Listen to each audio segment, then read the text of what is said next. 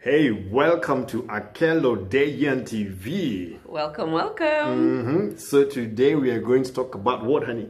We are going to talk about how to rightly correct your spouse. Ooh, rightly correct, which means you could be doing it wrong, huh? That's right. uh-huh. So how do you do it? How do we do that?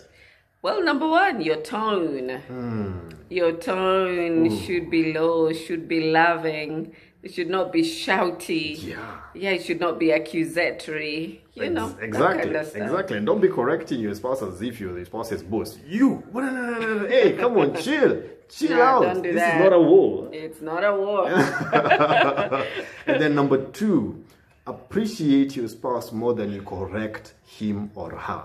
Don't let it be that most of the times or more, every time that words come out of your lips is what your spouse is doing wrong. You're just listing the negatives. Come on. yeah. Give your spouse some appreciation, right? Hey, give, yes, yes, everybody, everybody needs that.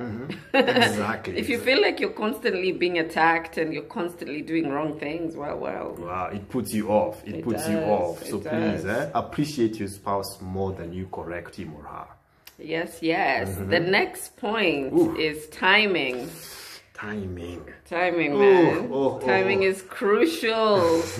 you don't want to start no drama when somebody has just walked in from work. Yeah, or somebody you're in the middle of making love. eh, So the guy is like, mm, or the woman is like in the mood, and then that's the time. How come you didn't take out the trash? Come on, oh man. God, can you imagine? Oh, Lord. yeah, man. Lord. Wrong timing. Wrong timing. Uh, wrong timing. Yes. Your timing has to be right. Make Yes. sure you know your spouse is calm. Mm-hmm. Uh, you know, it's you know, they're not tired Yeah. or they haven't gone through some tough emotional stuff Exactly. or day, and then you're over there trying trying to bring in like really heavy, heavy, Yeah, heavy yeah. stuff. You're setting yourself up for some really disappointment. Eh? You are. And then number four, number Mm-hmm. four, no comparisons. Don't compare your spouse to another person. If you're a wife, don't be telling your husband, "Mm, why can't you be like, you know, uh, Mr. So and so of our neighbor? Eh? He does this for the wife. When are you gonna do this for me? Or if you're a husband, you're like, why can't you be like, eh? These women that I see on social media who are loving. No, no, no, no. Do not compare your spouse to another. Focus on your spouse and your spouse alone. Yes, yes. Mm-hmm. The next point is environment. Yes. Mm-hmm. Make sure the environment is conducive for productive, you know, discussion. Yes. Just um, make sure it's not in front of friends, Yeah. in front of relatives, Ah.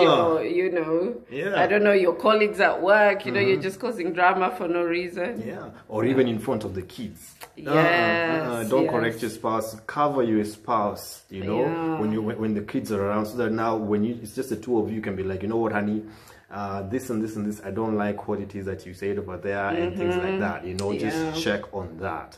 And then number six, number six, do not use the words never or always. You never do anything right. You always mess things up. Mm. No Ah, absolutes. mm, No absolutes. absolutes, no. Because that's false. if you had a spouse who never did anything right or who Mm. always did uh, wrong things, you two will not be together in the first wouldn't. place. So there's some good things you're seeing in your spouse. Eh? And when you use the words never and always, guess what? You're canceling all the wonderful things that they've done before. So be specific. In this day, on Friday, you did this. Ah, ah, Yes, I didn't yes. like that. So be specific. Yes, no absolutes. You know, they say even a broken clock is right once. Mm. Ah, well, so your spouse sure, cannot be wrong all the time. Exactly, exactly. Yeah. And then lastly, number seven, honey. Lastly, number seven, we need to tell them. Huh? Should we tell them? Yeah, let's tell Oh, number seven. number seven, and this is a very important one. As you seek to correct your spouse, also you be open to correction. Yes. Allow your spouse, yes. give your spouse power and authority to correct you. Mm-hmm. Don't be, you know, one-sided. That you're the one who's supposed to be always correcting your spouse. Please allow Mm. your spouse also to correct you. So when your spouse is calling you out on something or bringing to your attention that something is not going right, please listen. Don't harden yourself. Don't harden your heart. Yes. Awesome. Yeah, wonderful. Yeah. Remember this: love is about learning and unlearning. No- That's it. No matter who you are, no matter your experience, there's Mm-hmm. always room to grow.